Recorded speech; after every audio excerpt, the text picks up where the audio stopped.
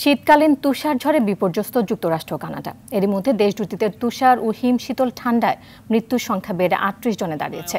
যুক্তরাষ্ট্রের নয় রাজ্যে মৃত্যু হয়েছে চৌত্রিশ জনের। এই সংখ্যা আরও বাড়তে পারে বলে আশঙ্কা করছে স্থানীয় কর্তৃপক্ষ। যুক্তরাষ্ট্রের নিউ ইয়র্কে বাফেলো শহর সবচেয়ে বেশি ক্ষতিগ্রস্ত হয়েছে। শহরটিতে সাতজনের মৃত্যুর পাশাপাশি বিদ্যুৎ সংযোগের মতো প্রয়োজনীয় সেবা বন্ধ রয়েছে। কোথাও কোথাও তাপমাত্রা মাইনাস পঞ্চাশ ডিগ্রি সেলসিয়াসের নিচে নেমে এসেছে। এদিকে অস্ট্রিয়ার একটি স্কাই রিসোর্টে তুষার ধসে অন্তত জন বরফের নিচে চাপা পড়েছে। এখন পর্যন্ত একজনকে জীবিত উদ্ধার করেছে উদ্ধারকর্মীরা।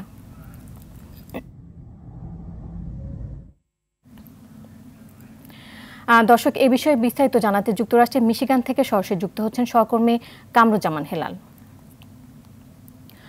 হেলাল, তুষারপাতের কারণে বড়দিন বড়দিন উদযাপনে কি প্রভাব দেখতে পাচ্ছেন এবং কবে নাগাদ পরিস্থিতি স্বাভাবিক হতে পারে? জানাবেন।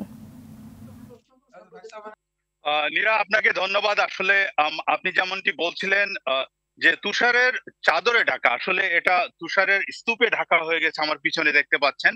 যে সাইক্লোন তুষার ঝড়ের কারণে যুক্তরাষ্ট্রে এবং কানাডার দশ লাখের বেশি মানুষ কিন্তু ক্রিসমাস কাটিয়েছে বিদ্যুৎ বিহীন অবস্থা।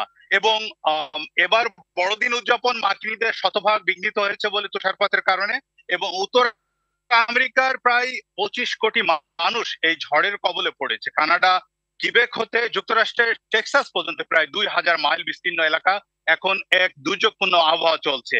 এই ঝড়ের কারণে ক্রিসমাসের উৎসবের সময় হাজার হাজার ফ্লাইট বাতিল করতে হয়েছে।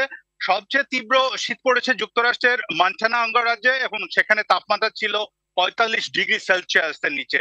মিনিসোডা আয়োয়া উইসকনসিন এবং মিশিগানের সব তাসা সাদা তুষারে ঢাকা পড়ে গেছে।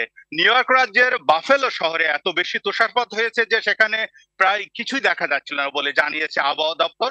অন্যদিকে উত্তর পশ্চিম অঞ্চলে প্যাসিফিক উপকূলে শিয়াটল এবং পোর্টল্যান্ডের মতো শহরের রাস্তায় লোকজন বরফের উপরে কিন্তু স্কেটিং খেলছে। যুক্তরাষ্ট্রের উত্তর পূর্ব উপকূলে নিউ ইংল্যান্ড অঞ্চলের উপকূলের বন্যা হচ্ছে বলে খবর পাওয়া গেছে ইতিমধ্যে। সেখানে বিদ্যুৎ সরবরাহ বিঘ্নিত হচ্ছে। এমনকি দক্ষিণাঞ্চলে ফ্লোরিডা, জর্জিয়ার মতো যেসব রাজ্যে সাধারণত আবহাওয়া অত চরম ভাবাপন্ন নয়, সেখানেও বরফ জমা শীত পড়বে বলে হুঁশিয়ারি দিয়েছেন ইতিমধ্যে। তুষার ঝড়ের মৃত্যুর বেশিরভাগ ঘটনা ঘটেছে রাস্তাতে গাড়ি দুর্ঘটনার কারণে। ওয়াইও একটি দুর্ঘটনায় পঞ্চাশটি গাড়ির মধ্যে সংঘর্ষ হয়, সেখানে চারজন মারা যায়। এবং যুক্তরাষ্ট্রের জুড়ে নিরা আসলে এখনও পর্যন্ত বিভিন্ন সংবাদ মাধ্যমের খবর অনুযায়ী যুক্তরাষ্ট্রেতে পঞ্চাশ জনের মৃত্যুর সংবাদ পাওয়া গেছে। তবে এই পরিশেষে বলতে চাই যে সবকিছু স্বাভাবিক হইতে এখনও কিন্তু সপ্তাহখানিক সময় লেগে যেতে পারে। এই ছিল সর্বশেষ পরিস্থিতি। নিরা? জি, হেলাল, আপনাকে অসংখ্য ধন্যবাদ। আমাদের সাথে যুক্ত হওয়ার জন্য।